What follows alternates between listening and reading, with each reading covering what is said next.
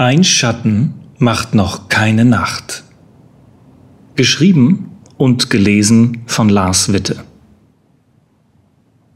Ein markerschütternder Schrei riss Jore aus seinem Schlummer, woraufhin dieser sogleich mit dem Kopf an ein paar hängende Pfannen stieß. Unter einigem Scheppern richtete sich der junge Küchenhelfer auf und rieb sich die Stelle an der Stirn, die in wenigen Stunden eine pralle Beule tragen würde.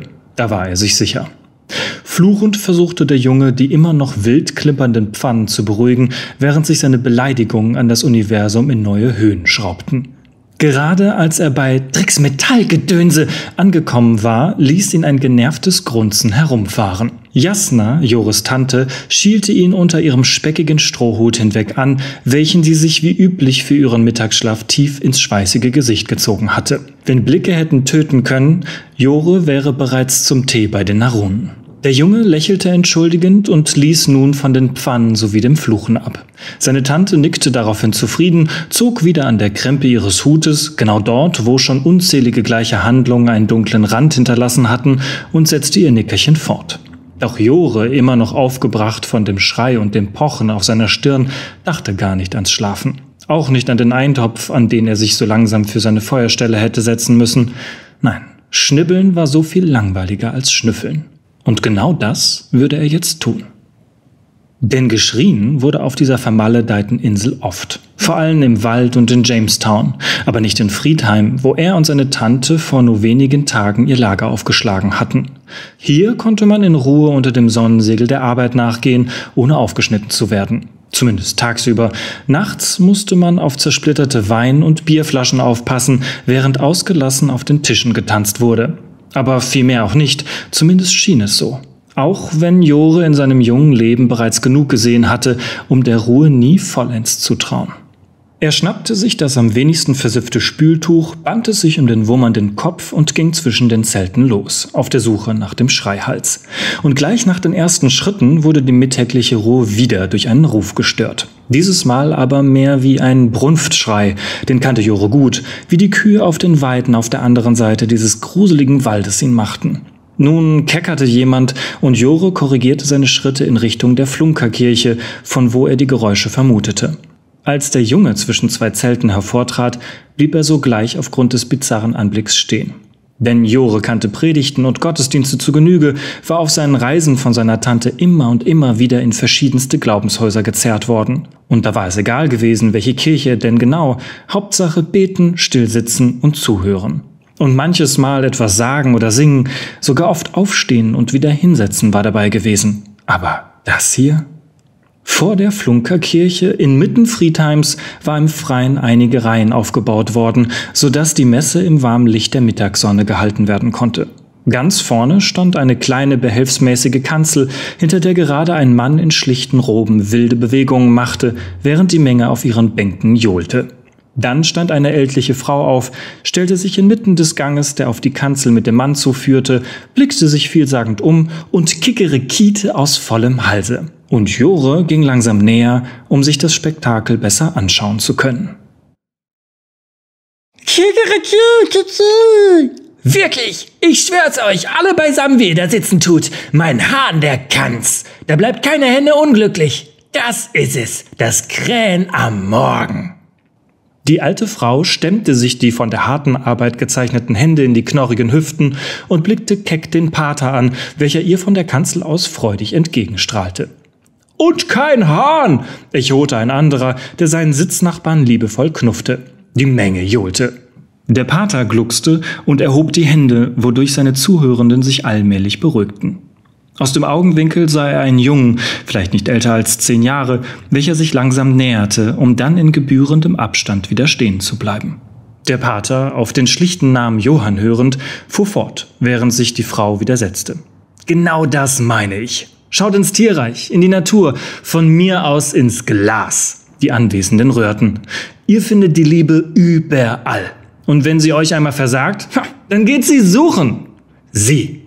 Der Pater zeigte unvermittelt, aber freundlich auf einen Mann mittleren Alters in den vorderen Reihen. Dieser zuckte zusammen und zeigte unsicher mit einem wulstigen Finger auf sich selbst. Pater Johann nickte. Genau, Sie. Was bedrückt Sie? Sagen Sie es uns. Keine Scheu.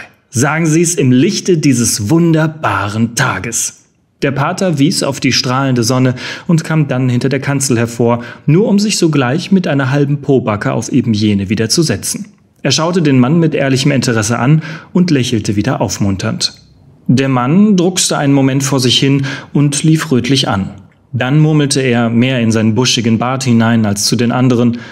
Ähm, ich, ich hab vor, vorm Tag all mein Geld verspielt. Alles weg. Ja, so war's gewesen. Der Pater sprang unvermittelt von seiner Kanzel auf, so dass die Laterne, die er sonst immer bei sich trug und nun seitlich daran hing, gefährlich hin und her schwang. Dann klatschte er in die Hände, dass es bis zum Wald hallte, und stellte sich inmitten des Ganges zwischen seine Schafe. Wem oder wer ging es nicht auch schon so, dass wir uns in einem Punkt in unserem Leben befinden, wo wir am liebsten direkt zu den Mad Faces gingen? Oder den Narunen unsere Seele gäben? Gemurmel und vereinzeltes Nicken.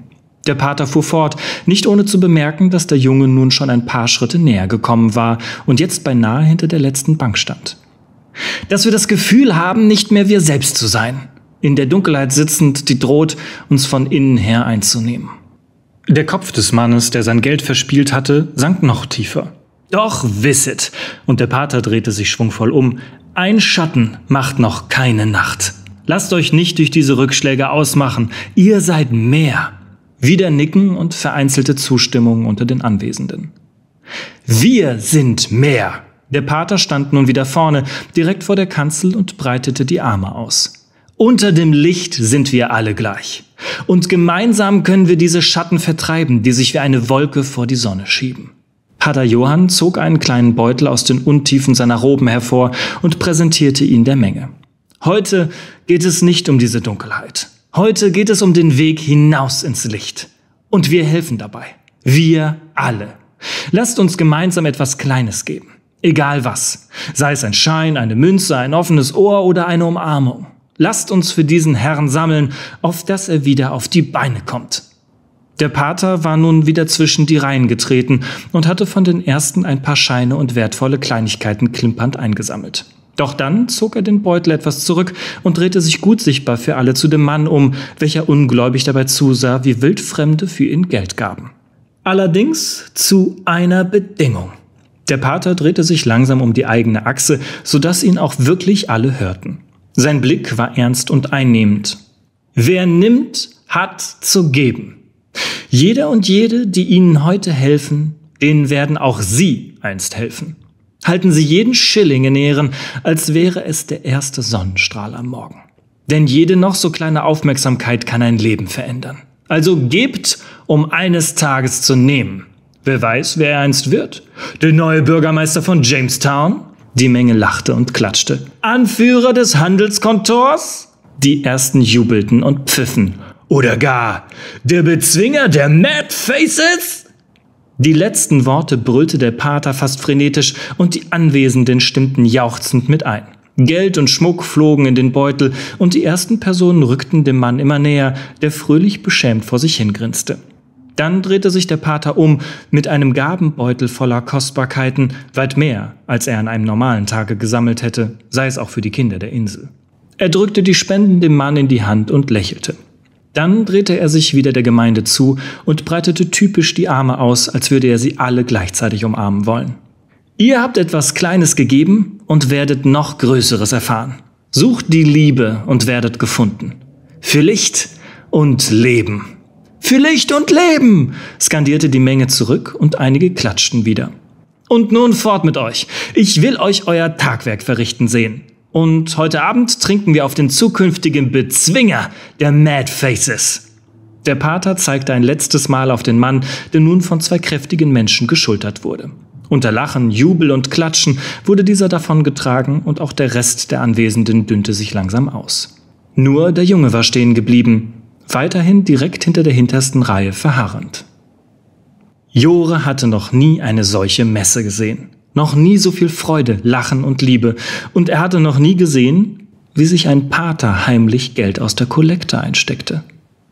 Es gibt für alles ein erstes Mal, pflegte seine Tante immer zu sagen.